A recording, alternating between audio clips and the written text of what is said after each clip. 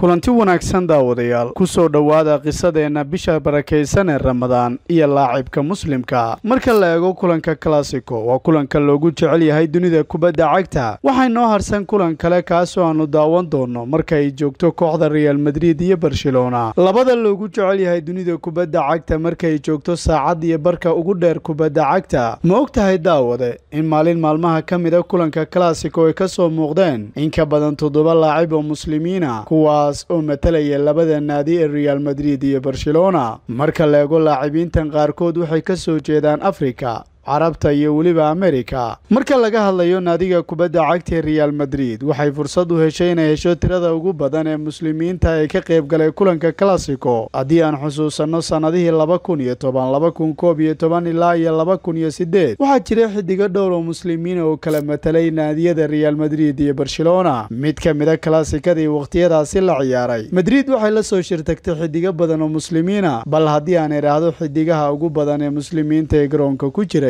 wiilka asal ahaan turkiga ee mascuud ozel maalintaasi markii ugu horreysay ayaa la arkay isagoo qur'aan aqrinaya islamarkaana ciyaarta ka hor gacmihiisa sare ugu taagaya ee banabaryaya iyadoo sidaasi ay tahay haddana waxaa jiray. Mid ka mid a xidigihii ugu daada yaraa iyo weeryahankii ugu joogista badnaa qalcadda mulog karim benzima kaas oo isagu meesha ka saaray weeryahano badan oo kooxda kubadda cagta ee real madrid a sidoo kale waxaa jiray xidigo kale oo wakhtiyadaasi ku sugnaa garoonka mascuud. Maalintaasi dadiisu waxay labiyo labaatan sano. Isagoona la xusuusto karim benzima isagu inuu ahaa saddex iyo labaatan sano. Wiilkii deganaa ee u dhashay waddanka jarmalka sami khadira waxauu ka mid ahaa xidigihii ugu muhiimsanaa ee maalintaasi matalay kooxda kubadda cagta ee real madrid amaa wiilka lagu magacaabo mamadu diyaara waxauu matalayay kooxda malaki laakiin haddana asal ahaan wuxuu ka soo jeedaa waddanka maali saaxiibkiisa asal ahaan isla maaliga laakiin faransiiska ee lasano diyaara ayaa ka mid ahaa laacibiintii muslimiinta ee kaydka u fadhiistay kulanka klasiko imaa barcelona. Waxaa jira xidigo muslimiina oo iyaguna wakhtiyadaasi matalayay. Wiilka lagu magacaabo eric abidal waa mid ka mid a xidigihii ugu muhiimsanaa xulka qaranka waddanka faransiiska iyo barcelona. Waxa waa muslim matalay safkaasi iyo sido kita kaasoo u dhashay waddankaasi maali kana mid ahaa xidigihii ugu muhiimsanaa kooxda kubadda cagta barcelona. Walow xidigahaasi muslimiinta ay ka waaweynaayeen marka la barbardhigo xidigaha malaki real madrid. Tani waa qisadeenna bisha barakaysan ee ramadaan iyo laacibka muslimka. Markana waxaan eegi doonnaa qodobadii kale ee falanqaynta dunida kubadda cagta haddii aan u eegno nadiga kubadda cagta ee tottenham wararkii ugu dambeeyey waxay tilmaamayaan tottenham astonvilla newcastle iyo weliba kuwo kale inay si adag ugu dagaalamayaan xidiga lagu magacaabo samuel jakwisi samuel jakwisi wakhtiyadiisii annagu aanu barannay waxaanu ku aragnay kooxda kubadda cagta vayareal kaasoo mustawo wanaagsan isaguu la sameeyey cajiib uu ahaa dhammaanteenba aanu la dhacsanayn tani wakhtigaasi wuxuu ku biiray milan mustawihiisu ma xumayn inkastoo wixii markaa sbain uu ku soo bandhigi jiray aan marna la dhihi karin wuu isagu la yimid marka la eego nadiga kubadda cagta ee milan. Hadda soddon iyo shan milyan ayaa la tilmaamay inay noqon doonaan lacagaha ninka lagu doonayo samuel jakwisi xoguhuna waxay leeyihiin in tottenham astonvilla newcastle saddexduba. Jakwisi in markaasi ay nadiga kubadda cagta markaasi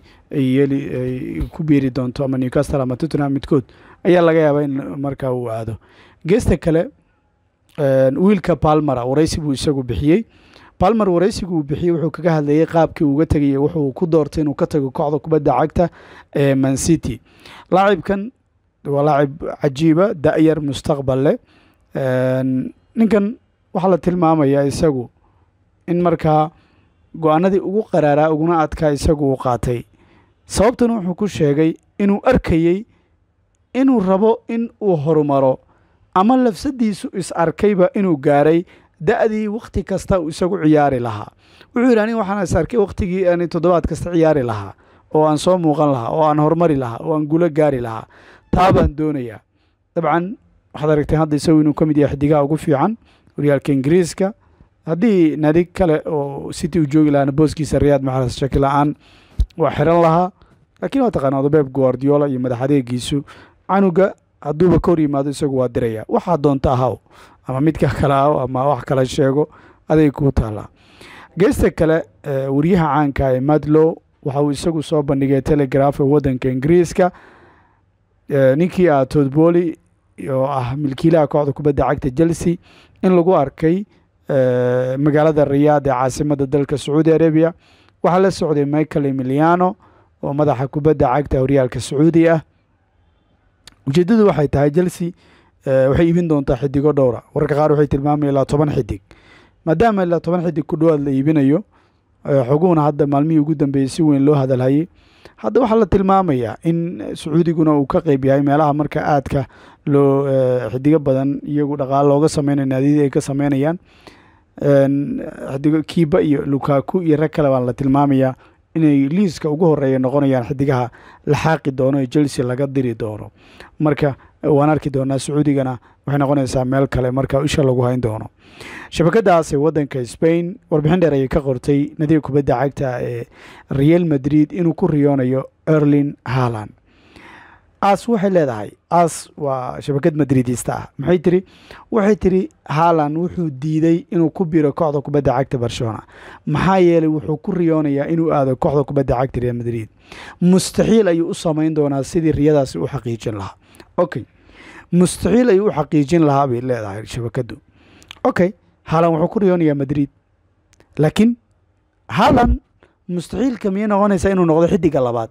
Sababtoo imbebe hadduu yimaado haalan waa loo baahan yahay. Imbebe venicius baa keed galaya ama waxaa gelaya rodrigo.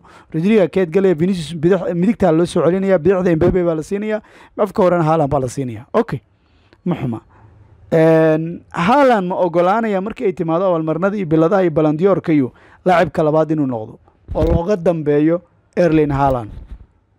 Looga dambeeya kilian imbabe miyuu yeeli doonaa haddii aad markaa malaynaysid commentiga hoose bal nagula wadaag. Wixii fikra markaasi aad qabtidna hoos nagu soo bandhig. Markaan ka hadleyno nadiga kubadda cagta ee real madrid labsadeedu wiilkii marka ibrahim diyaas saacadihii la soo dhaafay aad baa looga hadlayay. Kadinaser waxay tilmaamaysaa faylkiisu hesha cusboonaysiinta miiskii inuu saaran yahay. Naadiguna se waxay la kulmaysaa cadaadis maadaama laacibkan isagu uu doortay inuu matalo inuu matalo morocco bedelkeedii spain. Spain waxay ku cadaadinaysaa canug inaan loo cusboonaysiinba. Ama de culaysyo kale baa la saarayaa. Warbaahintu kadinaser saas bay tilmaamaysaa.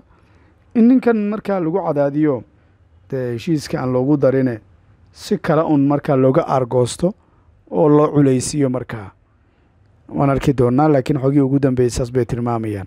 Laakiin ninkan inuu doorto morocco waxay kutusinaysaa afrika kubaddeedu si u soo noqonayso markaa waxaanu qabanaa oo macaamiisha u qabanaa inaanu ku soo dhaweyno garoomada caalamiga ah kana sii dhaweyno waxaa kaloo aan hadda ku soo kordhinay shirkadda araale travel agency idinku idin idinku soo kordhisay. Shaqo cusub oo ah maadaama lagu guda jiro ama ay maalmo ama saacado kooban ay ka harsan yihiin bishii barakaysan ee ramadaan waxaanu macaamiishan ugu talagalnay inaanu ka caawino xagga cumrada iyo cibaadada xaramkaas iyo bishaas barakaysan ee wanaagsan. Saa darteed waxaan ugu haynaa macaamiisha sharaftan waxaan u haynaa adeeg fudud hufan oo yacni dad u tababaran hawshaasu idiin qaban doonaan. Adeegaas waxaa weye waa cumrada iyo xajka iyo acmaasha iyo dad weliba culimo ah oo ku takhasusay arrintaas in ay shirkaddu idiin diyaarisay. Sidaa darteed waxaanu ka codsanayna macaamiishayada inay nala soo xiriiraan cawaankeenu waxaa weeye waa waxaan jegana jisanta f twenty three ka soo horjeeda istanbul ama dhabarka dambe ee amal shopping center ama moolka weyne amal. Shirkaddu waxaa kaloo idin haysaa howlo kale oo fara badan oo ku wanaagsan xagga dalxiiska sida magaalooyinka ee xeebeedka mombasa ama masai mara oo ah meel xayawaanku ay ku badan yihiin iyo ka sii shisha haddaan u gudubno dhankaas kale iyo gobollo ka sii fofog oo dalkan dalxiis fara badan ayuu leeyahay goobo fara badan oo loo dalxiis taga ayuu leeyahay goobo fara badan oo waxuu leeyahay dadku ay ka faa'iidaystaan xagga maaragta nasiirada markay u baahan yihiin. Waxaa kaloo idin haynaa ay shirkaddu idin haysaa adeega fiisayoosha fiisaha ama dalkugalka hadday noqon laheeda kuwa caafimaadka iyo kuwa ganacsigaba sida china india thailand iyo goobo kale oo fara badan. Waxaa kaloo idin haynaa shirkaddu idin haysaa fiisooyinka dalalka yurub oo kale. Ciddii doonaysa markaas inay u dalxiis tagto ama ay shaqo u aado amana siina u aado waxaa kale shirkaddu idiin haysaa oo idiin diyaarisay goobo nasiina ku wanaagsan oo aad ku nasan kartid adig iyo familkaagaba. Goorta aad nasiinada ku jirtay iyo goorta aad ka nasinayso shaqooyinkaagii iyo howlmaalmeedkaagii shirkadda waxay kugu soo dhaweynaysaa goobtayda oo xafiiskeeda ah oo anu aan fadhiyo oo aan maamulaha ka ahay. Waxaa kaloo ila shaqay doona ama ila joogi doona rag u diyaarsan soo dhaweynta macaamiisha. Oo markay noqon lehda garoomada laga baxo dabcan dadkeena soomaaliyeed waxay xoogaa ay shaki ka qabaan ama ay cabsiga walwal ka qabaan garoomada laga baxayo ama laga soo dega kenya marka la imaanayo taas marka shirkadda ayaa ka haqibtiri doonta adeeg hufan oo ku raaligeli doona. Waadna ku mahadsan tahay la soo xiriirkeenna aadna la soo xiriirtay. Waana ku sugaynaa waana ku soo dhaweynaynaa wabillahi towfiiq asalaamu calaykum waraxmatullahi wabarakaatu